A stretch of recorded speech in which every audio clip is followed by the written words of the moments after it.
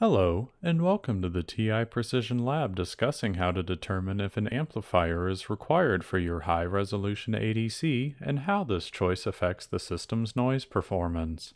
In a previous Precision Lab module covering how gain affects ADC noise and dynamic range, we discussed ADC full scale range versus input signals, input and output referred noise, total noise performance for single and dual stage amplifier systems, how gain affects lower resolution and higher resolution ADCs, and finally, the impact gain has on dynamic range parameters.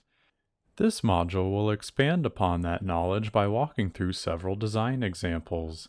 These design examples will explore topics such as adding an external amplifier versus using an ADC with an integrated amplifier, how much gain is necessary for your system, using a low noise amplifier with a higher noise ADC, and noise calculations for low level signals applied to a wide bandwidth ADC.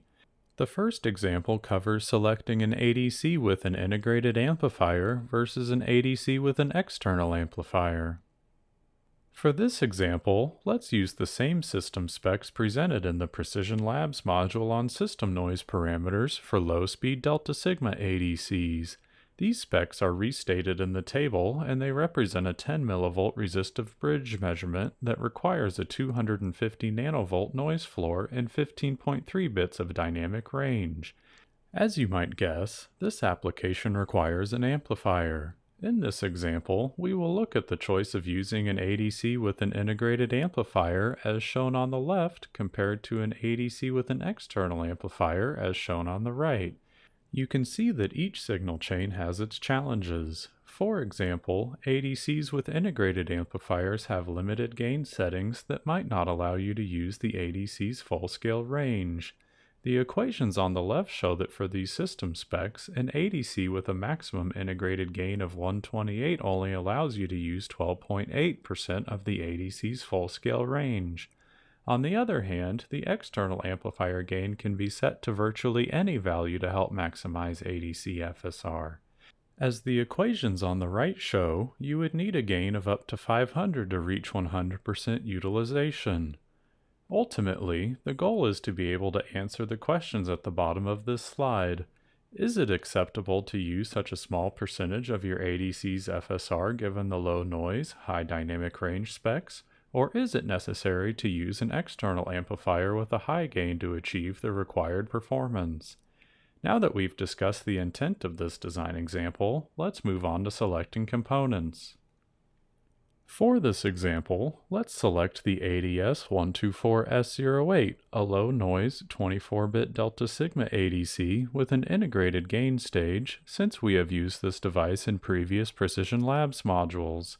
An equivalent noise model for this device is shown on the left. On the right is the equivalent noise model for the external amplifier plus ADC system, where the ADC noise is just the ADS124S08 noise at a gain of 1. In each case, the ADC is the same and the only variable is the choice of using an integrated versus external amplifier. Next, determine the total noise performance for each signal chain. In general, you would calculate the input referred noise using the given equations. However, for the ADC with integrated gain, you can typically just copy the values directly from the datasheet. The table shows the ADS124S08 input referred noise values across all available gains using a Sinc 3 filter at the target output data rate of 60 samples per second. Note that there is nothing to calculate since these values include the combined ADC and integrated PGA noise. This simplifies system noise analysis compared to using a discrete amplifier with an ADC. Comparatively, you do need the input referred noise equation to calculate the ADC plus external amplifier noise. The equation on the right is modified slightly to denote that the ADC noise is just the ADS124S08 noise at a gain of 1. The OPA211, OPA378, and OPA192 are selected as the external amplifiers. Now you just need to determine each amplifier's noise voltage at 16 Hz noise bandwidth. Can this information be pulled directly from a datasheet without any calculation like the ADC with integrated gain? Let's look at the OPA 211 to find out. Shown here on the left is the voltage noise density curve for the OPA 211, while the table on the right shows its noise specifications. Note that the OPA 211 has a sharp increase in voltage noise density under 10 Hz, known as 1 over F or pink noise. Additionally, the OPA 211 has a relatively flat region known as broadband noise. In order to calculate the OPA 211's noise contribution given a 16 Hz system effective noise bandwidth, you would need to integrate the area under the noise density curve up to the noise bandwidth. If you'd like more information on how to estimate the area under this curve or to learn more about amplifier noise in general, please review the Precision Labs modules on amplifier noise. Using the methods from those Precision Labs modules, you can calculate that the OPA 211 contributes 18.5 nanovolts RMS of noise to the system.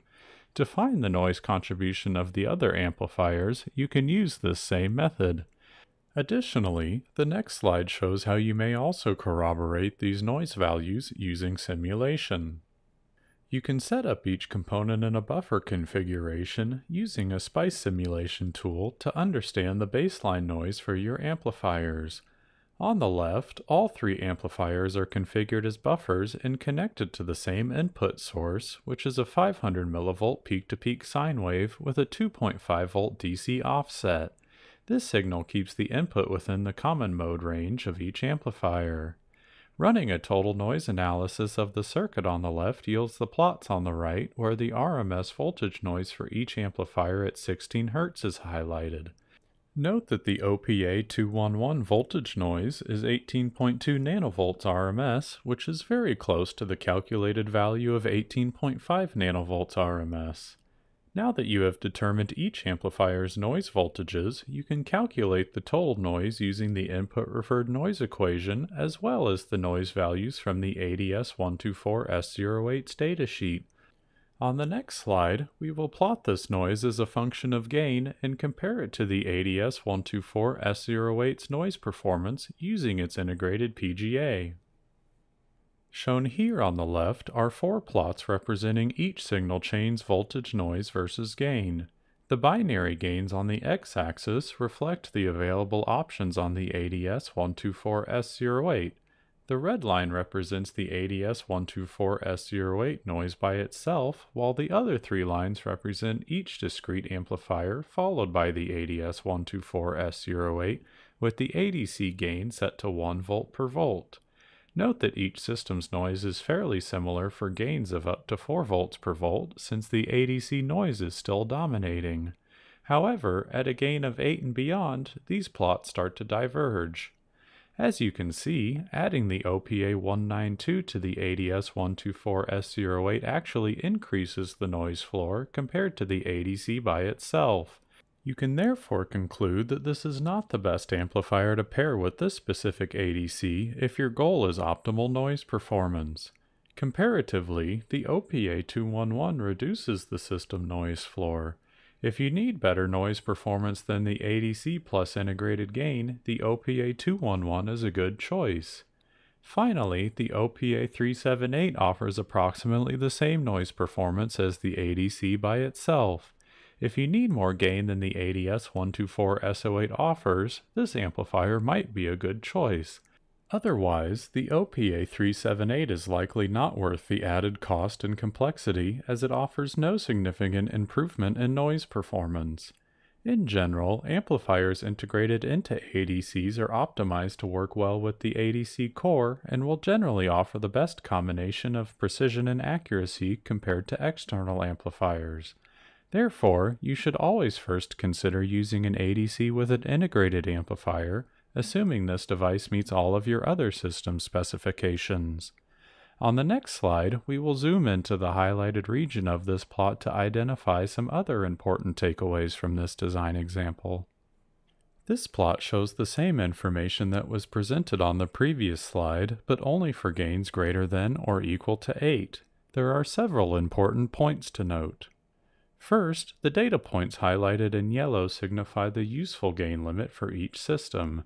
The useful gain limit concept was introduced in the previous Precision Labs module and denotes the point at which adding more gain has no meaningful impact on the input referred noise and results in constant dynamic range. This point occurs at a gain of 32 volts per volt for the OPA 192 and OPA 378 systems, as well as the ADS 124S08 by itself, and 64 volts per volt in the OPA 211 system. Therefore, you can conclude that using a gain of 500 to maximize the ADC's dynamic range would not be beneficial to any of these systems as the noise is constant and the dynamic range is effectively maximized by a gain of 64 volts per volt in all cases.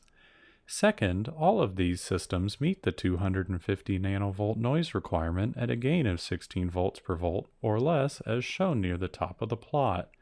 The dynamic range target is inherently met by this gain setting as well, since the dynamic range is derived from the noise performance.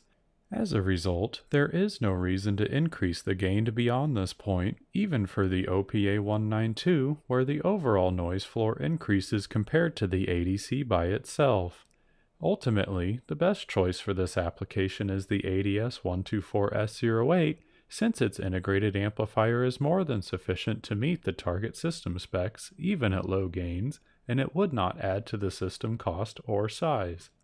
In other words, there are many applications where an external amplifier is necessary to meet your system's performance goals, but in this case, the requirements can be met using an ADC with an integrated gain stage. However, the next module in this series will discuss two or more design examples where external amplifiers are necessary to meet the system noise targets. That concludes this video. Thank you for watching. Please try the quiz to check your understanding of this video's content. Question 1. For the figure below, the system noise RTI for the OPA 192 is constant for gains greater than 16 volts per volt. Why? The answer is B. The system noise is limited by amplifier noise at this point. Question 2. Assume the noise target is 150 nanovolts RMS. Which amplifier cannot meet required performance for any gain value? The answer is A, the OPA 192. Question 3. True False. For DC precision delta sigma converters, the internal PGA often has noise performance that is better than discrete amplifiers. Furthermore, discrete amplifiers that are better than the internal buffer are typically high performance op amps that will significantly increase the system cost. The answer is A, true.